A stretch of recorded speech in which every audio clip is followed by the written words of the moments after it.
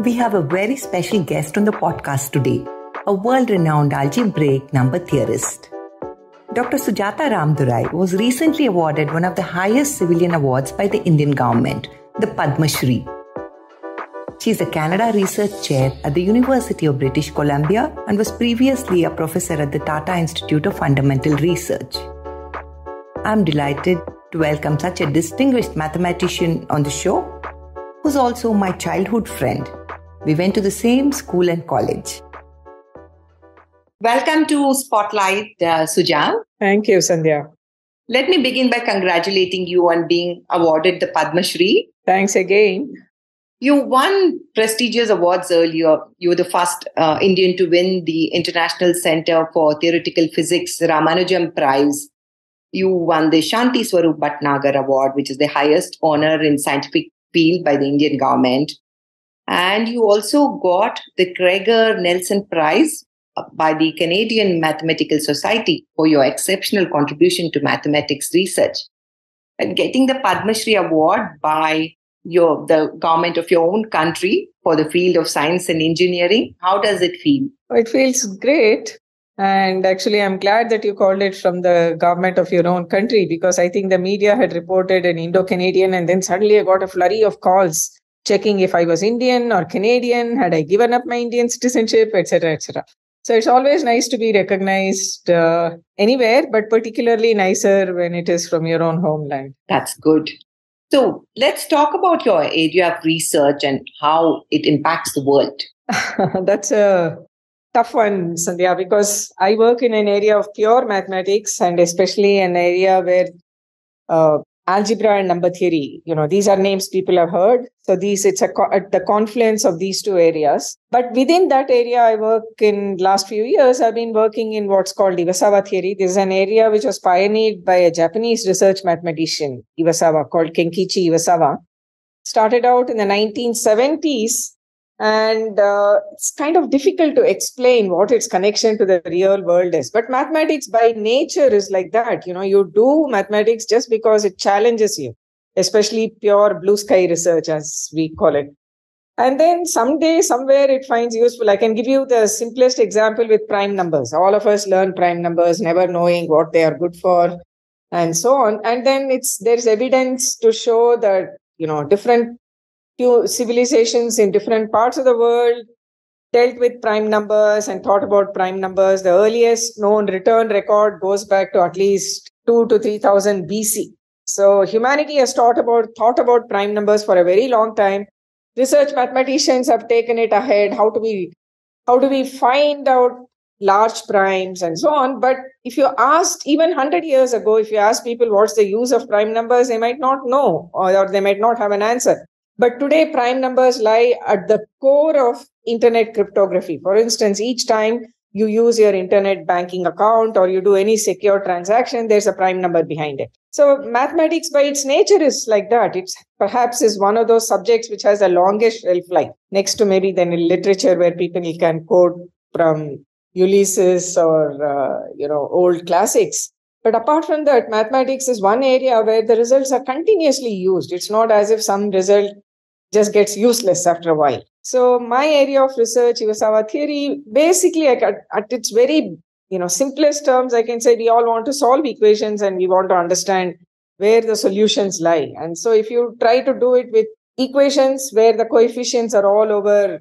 integers or over, over the rational numbers, then it gets you know, it's a difficult question. And uh, for instance, um, you know, for the last three, 400 years, we know that solving equations is closely related to another area of mathematics called group theory and Galois theory and so on. But we don't understand fully the what's called the Galois group of the field of rationale. So if you understand the Galois group, it sort of tells you where the solutions to equations lie. And uh, in algebraic number theory, we want to understand studying solutions of equations over the rational numbers. And that's a tough question. You know, we only understand part of the picture. And then mathematics sort of tells you, you know, okay, this is what things should look like. But then mathematics is also driven by rigor. So we want to prove that a certain intuition or a certain conjecture is right. So my area is broadly tied to those kind of questions. That's really fascinating. And it's good to know that, you know, the work that you're doing now would have an impact for generations to come. I think that's a very hard if at all, if at all there is an impact, it will come from unexpected quarters and we won't know when, where, and so on. But that's the nature of research in pure mathematics. Great. You know, I want to know um, how did you become interested in maths? You know, did you? I remember the time when you were in school and we used to have fun together in the summer holidays and things like that. You secretly, your brain was already working on you being a mathematician. To some extent, yes. You you know my late brother Kumar, right? So all our summer holidays used to be spent in city central libraries. For us, holidays meant going to the library and then reading comics. And then also Kumar used to have this ability to sniff out various things and then we would get deeper into that, read uh, books and so on. But the other big thing I remember about the summer holidays is waiting for the textbooks from the next class. Right. And in our family, we had a tradition. They would never buy two sets of new books. One of them would be hand me down, second hand books, and one would be new books. And we had to take turns. If I got new books this year, then Kumar got new books next year, and so on. And then, as soon as we could get our hands on the textbooks for the next class, Kumar would devour the English book and I would devour the math books, trying to find out, okay, how much of these problems can I solve? How much do I remember from my last year? and then gingerly trying to read the new chapters by myself. And then I think the key to my liking for mathematics was this understanding that you didn't need a strategy or a tactic to do well in that subject. All you needed was to understand. And then once you had understood, then, you know, it was just practice. For me, it was this abstract component to mathematics that I liked. And then the realization that, you know, if you understood it, then you could do well without having to remember things. So, do you feel that the environment in which you grew up also eh, uh, enabled, you know, you had a sibling who was also equally interested and you were more or less the same age, so you were studying together? What about the environment in your in the school? What about the uh, environment at home, the family? Yeah, yeah, definitely. I think all those, and I think also the larger societal environment. You know, those were days where you really respected studies and really respected doing well in class. And then uh, different than you know being labeled a nerd. You were genuinely people were respectful of you if you did well in class. And then at home my grandmother who was an inspiration both for me and my brother she always used to lament the fact that she couldn't study beyond fourth standard. And her continuous message to us was you don't know how lucky you are that you have an education and it's unforgivable if you don't use that. And, uh, you know, so that sort of, and then when we did well in class and scored, let's say, full marks in mathematics, everybody would talk about it. Oh, look, she scored full marks again. And then my parents had this very interesting, uh, um, I don't know if it was a strategy, but whatever it was, it I think it, it was very effective. So they would our pocket money was the number of we I don't know Sandhya if you remember we used to have monthly tests. Do you remember? Yes. Yes, of course. Yeah. so our our uh, pocket money was the number of paise we scored in the monthly tests. All right. And, and if we scored full marks in any subject, then it got double. That's and then mathematics was the one where you could try and score full marks. So often that was another motivation to practice and practice and learn more and so on.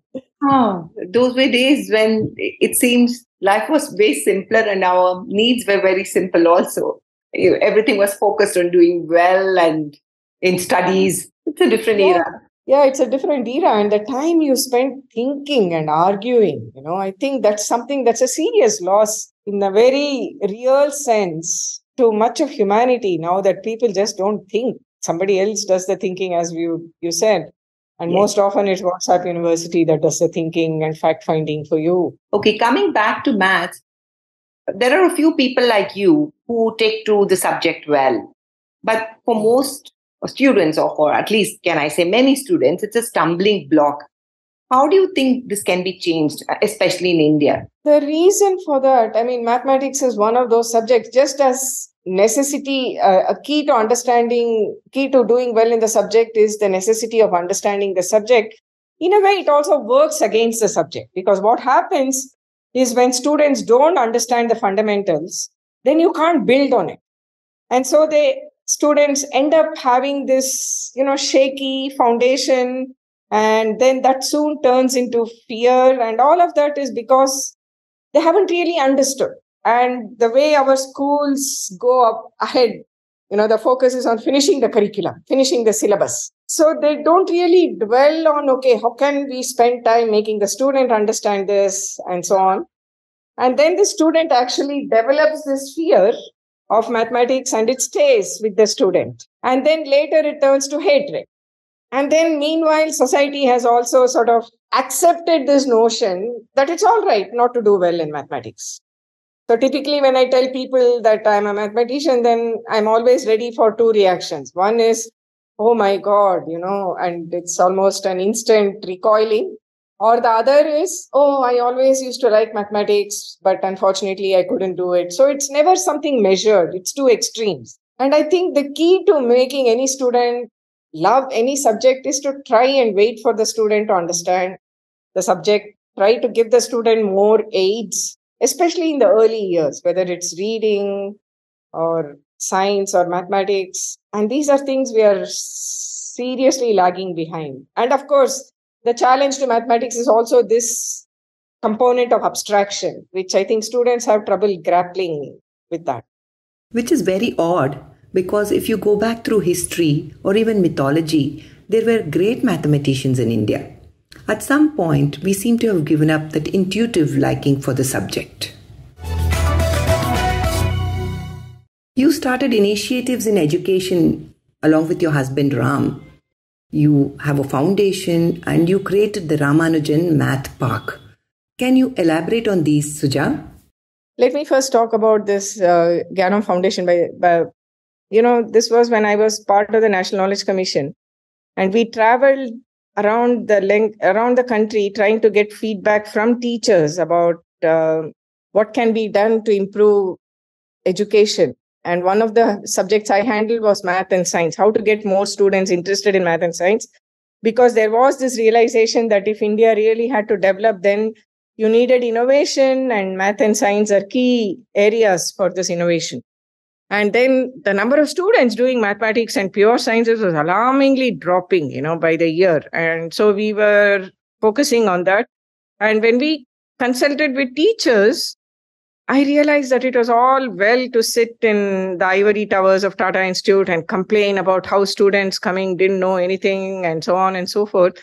While the ground reality, the teachers, especially in the public school system, there were many teachers who were trying to do their best, but they hardly had any resources. And internet was at its fledgling early years in those times.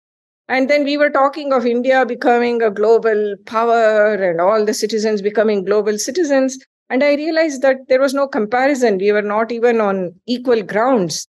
Students elsewhere had access to different resources anytime. You know, they just had to log on to the internet and they could access a wide variety of resources. Whereas in India, all the students had was were textbooks and which nobody was reading. And the teachers were focusing on quote unquote finishing the syllabus while being sent off or caste census, cow census, vote, various things. So I realized that, you know, one of the first things that's needed is credible online resources and technology enables that. Technology makes that possible. And I'm not a believer in displacing teachers, but I'm a firm believer that enabling teachers by way of creating more resources aligned to the Indian school system will really change the ground reality. So I set about, uh, and one of uh, my not, not not my colleagues, but somebody I knew, his name was Rajesh Kasturirangan. He was in NIAS, and he and I, you know, discussed this, and he said our textbooks are good, which I still believe. Our textbooks, NCERT textbooks, are good, but it's just that nobody reads them and how do we use technology to amplify that textbook? So he came up uh, with the, both of us said no we should do that. And i offered to do it for math. And then the hope was students would use that students parents teachers. And then teachers would get inspired and later own it and this could be replicated along subjects. And just imagine social studies or biology today with today's technology you can actually the child can actually see a cell division right? And so we set about trying to make presentations based on the textbook. And ultimately everybody gave up but i stuck to it. And uh, took inputs from teachers wanted to wanted it to become a movement what I call Gyan Dan.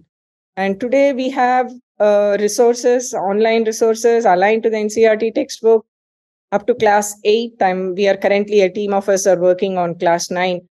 But sadly, nobody else seemed to have shared the same passion. And I wanted to do it pro bono, you know, I mean, didn't want to make. Meanwhile, as we all know, in the last 10 years, especially post COVID, the number of edtech startups, people talk proudly about that. Whereas I've always been saying but that by now the government should have created enough resources in multiple languages in India. Yeah, with the government resources, it's only a, a, a, that much simpler to scale these up. Exactly, exactly. But the you know, let me give you a simple example. For instance, Google can translate PhD level papers, you know, in specialized areas of mathematics. I'm, I have I regularly have my PhD students doing a first level translation from uh, papers in Russian or German or French, mathematics, high level mathematics papers. And then I only need to spend one or two hours with them. And then it's almost as good as the original in English. And then we work on that. You know, I guide my students, you know. But there's nothing like that available for school resources. That's a pity. Yeah. And the government by now should have created its own translation mechanisms. It's worse. In fact, for a single English word, you'll find multiple Kannada words for the same English word, uh, technical math word, depending on the year of the textbook. So we, you know, imagine this scenario. You bring the best student who has scored, who has topped in mathematics from across India, put them all in the same room, and they cannot talk mathematics because they have probably learned this in different languages. They don't have a common language.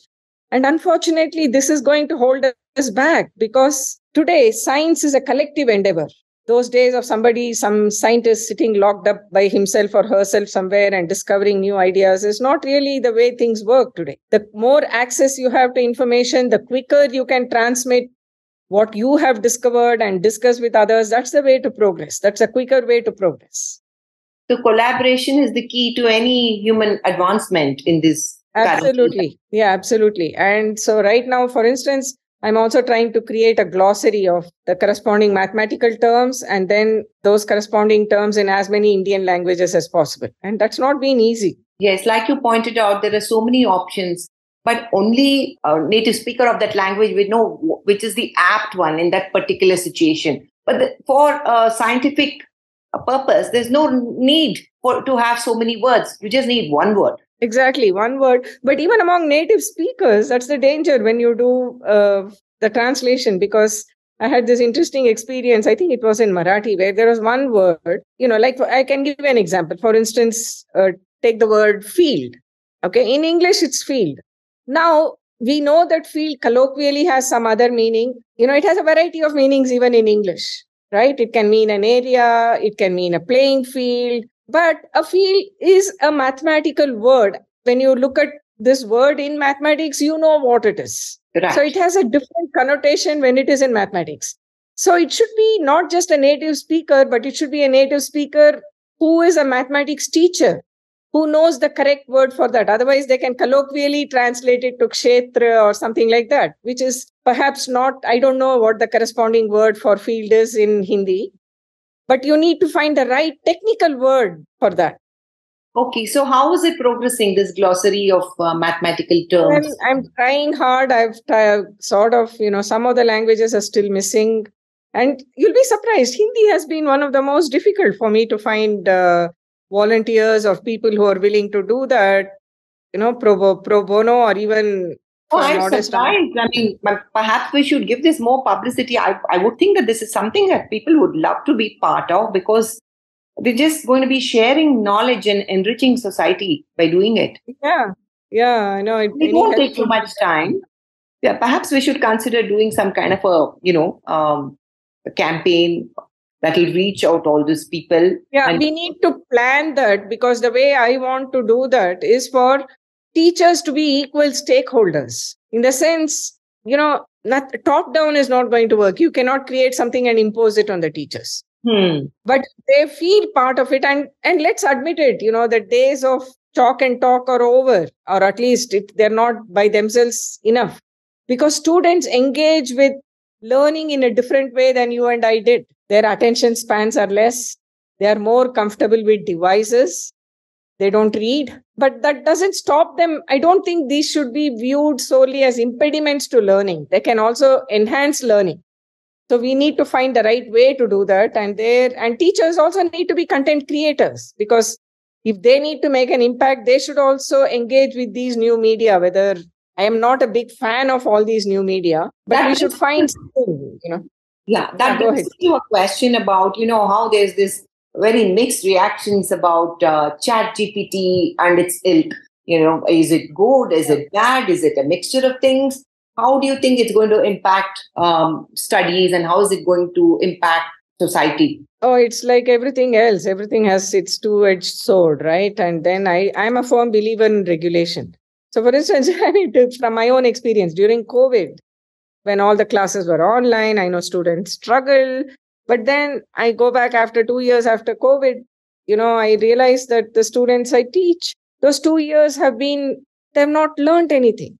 But you look at their grades, it doesn't reflect their state of knowledge in that subject. And it was clear that, you know, um, there was a, I, I, I can't say that the exams were conducted with full integrity and so on and so forth. But at the same time, it created a lot of resources in the sense because people were not attending classes, because people were lecturing online, they put up a lot of material online. And I think that, at least for me, it taught that you can use this to sift out the really motivated people because they used all these resources very, very efficiently. So chat GPT, unfortunately, is the same story. You know, these students can use it for quicker learning, but again, I suspect it's not going to be that way. It's just going to be one of the tools that spreads misinformation. Right. And that's, I think the reason is because there are not enough educators who are part of these. What do you mean by that? Let's let's go back to edtech. Let's go over. Let's take one step back from uh, Chat GPT. So, what is this whole story of edtech?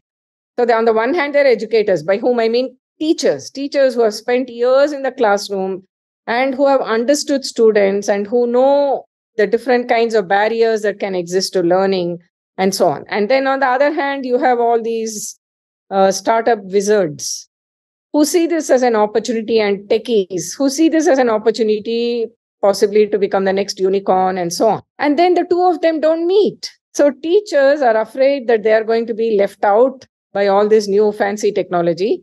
And then the uh, the techies believe that they don't need teachers, whereas I don't believe in either of those two extremes. And I think the right way would have been for a tech person to actually sit down with teachers and find out, you know, what have you learned in all your years as a, as a teacher?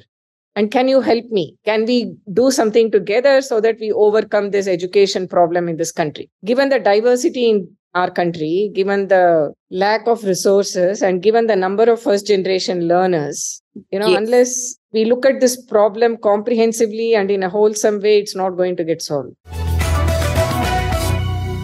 Okay. My next question is something that I have to ask you. You know, we are by now far past the stage of stereotypes of maths is not for women. But are there enough women in your field? If not, how can the numbers be increased? Well, even globally, I wouldn't say there are enough women in the field, but uh, it's increasing. And then in the West, there are a lot of initiatives which have worked wonders. For instance, networking events. So there are conferences run by women, and then many. And then again, this is not something where women plot. It's not something to be seen in that uh, light but it's something which is done in a very cooperative manner you know so for instance we have uh, what's called women in numbers so that's a group and then there are number theory conferences where you know preponderantly more women there's a preponderance of women and then it's also a kind of networking event. Like the seniors will talk to the juniors and talk to them. Often it's just sharing experiences that works. So they'll you, know they'll give advice to younger uh, job seekers about how they should handle a job interview. And if it's a two body problem namely husband and wife are both looking for jobs how do you negotiate the pathways? And so on. So that's been a very successful uh, model and now it's been replicated across streams within mathematics and also in other uh, science areas. And i think this has contributed in no mean way to larger numbers of women getting into mathematics. And then what also in the west what many agencies do is you know they say all right you can have you can organize a conference we'll give you funding only if certain percentage of your speakers certain percentage of your organizing committee etc etc or women at all levels there's a representation of uh, women and in fact even um, the larger uh, i would say minorities you know so it tries to be inclusive and then funding is tried to demonstrating this inclusion. And in a sense, it might appear forced. You can do these things in the West and where you can actually negotiate, where you can say, look, I'm sorry, I would like to, but unfortunately, you know, there are not enough women in this area. And one of the things that I want to do is to address this problem by having one whole session where panelists discuss how we can do this so that when we have a similar conference in, say, five years, our goal is to increase the percentage from X to Y and so on. Uh, those things are slowly catching on in India also. And, uh, and in fact, the United Nations a few years back did this very serious study on the gender gap project in science, where they had actual figures and where they tried to understand uh, this is not a, a, one problem fits all kind of solution, uh, kind of uh, problem. Right, the problem and the reasons for the problem could be different in different geographical areas, in different cultures. So, sorry, and in different cultures too you know it, it exactly. Yeah. So they, yes so they try to take all that into account and then uh, shape the data accordingly and so on. And so uh, it has helped i mean in india also now for the last few years we have regular women in math meetings. And then many of the uh, conference organizing you know there are some prestigious conference organizing venues. So those places have sort of agreed to say okay we will leave two weeks. You know those slots can only be filled up by events focusing on inclusion and so on. So those things have helped but it's still a long way to go i feel in india. So you know uh, what is your opinion about funding for uh, you know pure science or theoretical maths and science? I know industry backs uh, applied research but is there enough funding for I wouldn't, say, I wouldn't say industry backs applied research even in india. Industry there should be more involvement of industry. I mean, first of all, I'm a firm believer that the government can do more. You know, each time they commit, every successive government from independence says we are going to increase uh, the percentage of GDP in research, but it's one step upwards and four steps downwards. Now, we've never reached even the 2%. It's, I think, it varies from 0.3% to 0.8%. Whereas China, I think, is closer, it's above 1%. And that's and that's in the last few years, once it began booming. And then you can see the transformation on the ground. China, the publications from China now have overtaken uh, United States or, you know, the innovation indices that have gone up in and so on. So I firmly believe that the government should be a serious player. It doesn't take much it's not, you know, okay, big projects take a lot of money, and that's not going to happen every year, right? They can focus on big projects once in a few years, but there should be consistent, unstinting support for higher education and research. I wouldn't say just higher education, primary education, secondary education, tertiary, maybe there can be a few private players. But the government shouldn't let the arena just for tertiary education open to private players. That's my firm belief. Similarly, wherever we are in science, you know, when they'll say, okay, it's just like the usual comparison with public sector. And I'm not a believer in saying who people, I don't believe that investing in the public sector post independence was a drain on our country. The amount of human capital we built up is astounding. We are where we are today, whether it's as an IT uh, or in the services sector or getting the next new vaccine up and running is because we had all those investments. No, and I feel that, I mean, industry has never been, industry always likes to complain that the people churned out are not good enough for them. while they never do anything concrete to try and get involved in education and so on. Why do you think the government is lagging behind in supporting this kind of investment or investing enough in education as in the past? What has I, led to this kind I of to be charitable to the government, I can say maybe they don't realize, nobody has explained to them fully the strengths of investing in education, and people have only told them the losses or the drain story, the drain part of the story. But then I also think that the government doesn't take a long term view of these things. It's always from one election to the other, and scientists are a small vote bank that they can ignore. So, what we see is obviously the brain drain, as you know, the media likes to call it. When there are not enough opportunities here, the brightest brains will choose to go somewhere else where they have enough opportunities to pursue their work. That is something that I mean, needs to be changed. Absolutely. And I mean, I would say when we were in the National Knowledge Commission, I used to look at the previous commissions and the reports. And then, you know, all those commission reports are such fine documents. Even if a quarter of those recommendations had been recommend uh, had been implemented from the 60s we would be in a different place. And uh, but that's never happened. And i i really i fail to understand why. I mean we still there was at least sandhya when you and i when we were students 70s 80s there was this respect for teachers. But today even that is gone. You know there's only respect for startups in education where they make a lot of money and not for the real sloggers who are the teachers and i feel i mean this is something society needs to change. And uh, then that signal has to go to the government or the other way around. The government has to recognize the role the teachers and for instance even health workers they play you know you all this doesn't happen in a vacuum just because you say you know some big mission and so on. They have to stick to the ground stick to the uh, long term strategy and make some aspects of that mission politics proof in the sense it doesn't matter whether a government comes or goes the results have been so good that no government can afford to trace its steps back so one example along those lines would be the sarva shiksha abhiyan which the uh, Vajpayee government, I think it was, that started it. But then people saw its value, and no government could cut funding to that and so on. Whereas most of the other schemes are typically fly by term. You know, so one term they'll implement some scheme, it's never carried forward, it's undone. So whatever progress was made, then you go back four steps. And this short term view should just be gotten rid of. And I don't know how we can make that happen. I absolutely agree that we need to discuss this more, and that should be part of a you know intellectual collective collaborative effort. I just have two more questions. You would like to answer them. One um, is, uh, you know, do you think that scientists should be part of the intellectual collective who participate or get involved in concerns of civil society?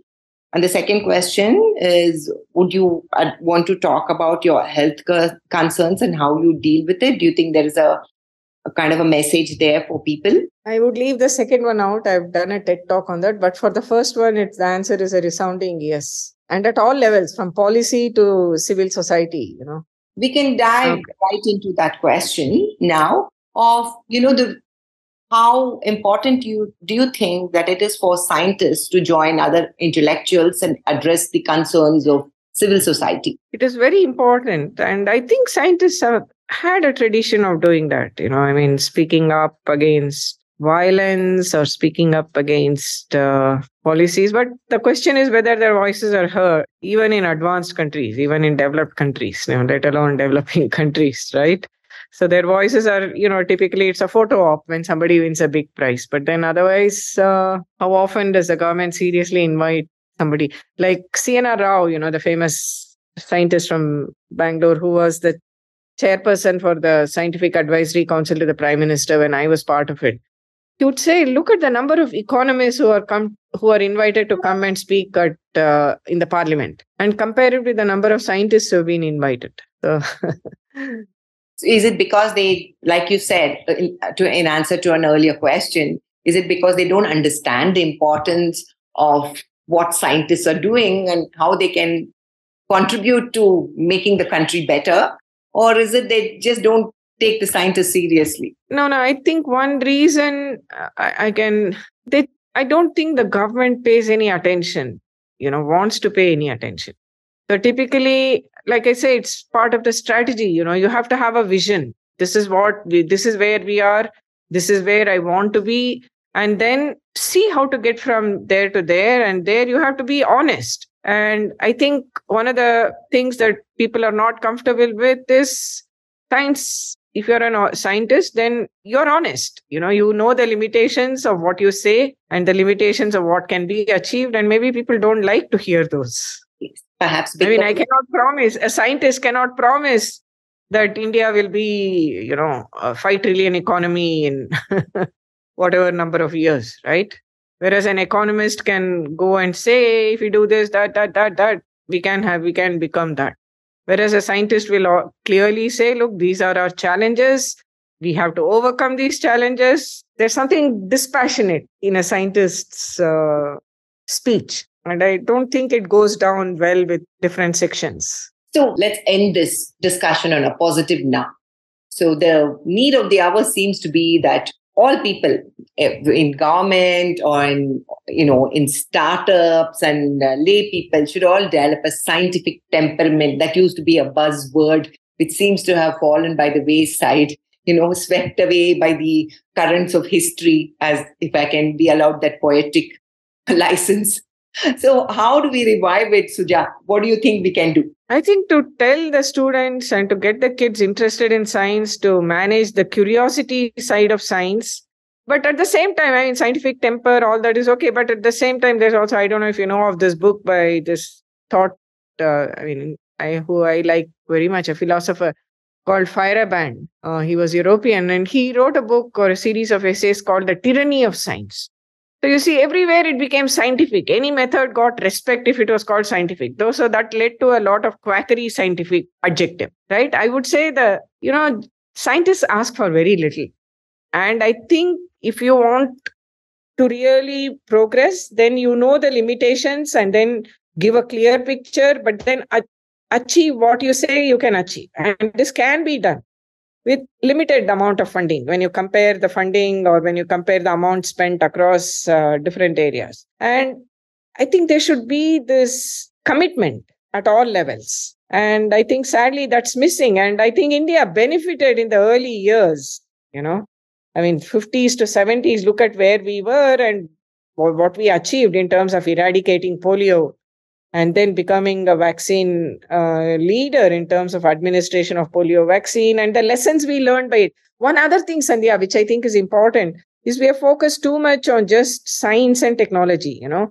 And if you look at, and I think uh, that's also part of the problem. We should look at, and especially today with a whole parallel digital world emerging, scientists should be aware of humanities and conversely. Humanities, there should be a history of science subject taken seriously, and so on.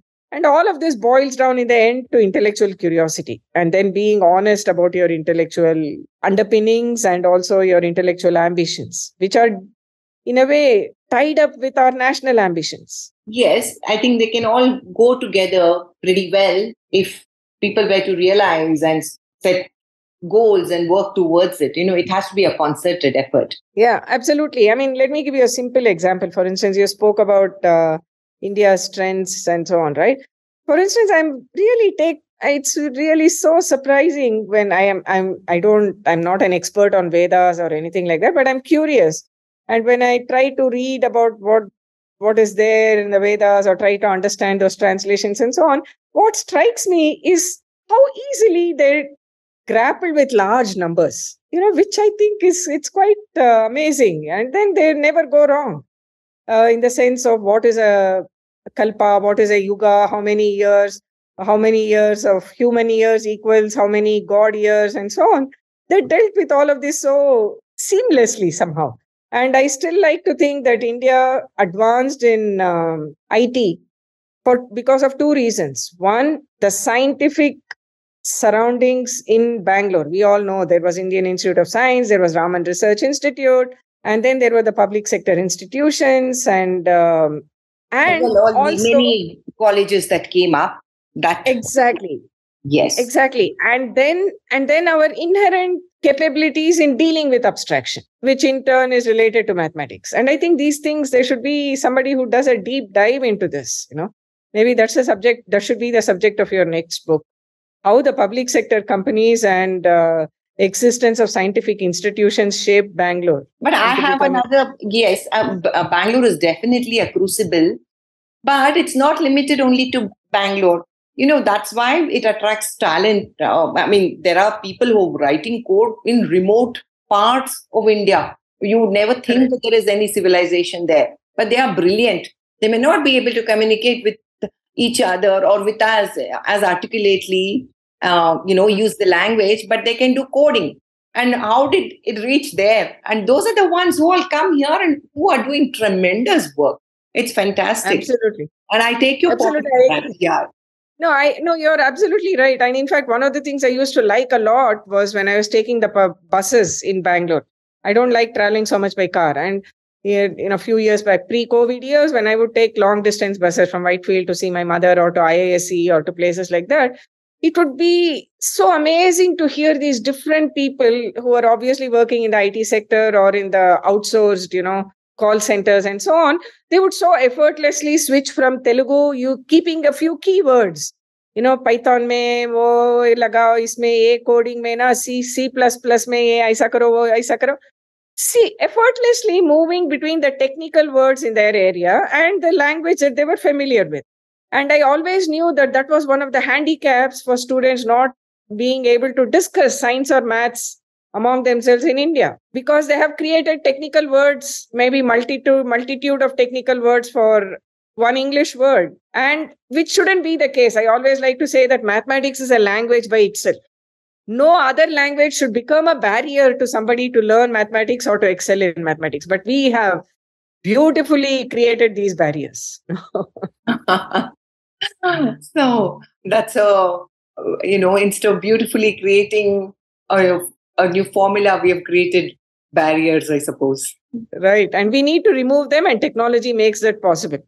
And in fact the government should be focusing on that. How do we create resources? But of course the government will say we are focusing on that but now it's a problem of plenty that the teachers are so afraid to even go near them इतना सारा है हम किससे क्या ले लो just give them something simple basic resources which will help them teach better Right. The problem of plenty is very baffling to deal with, and they have enough workload and enough restrictions in how they are supposed to work. That's true. Right.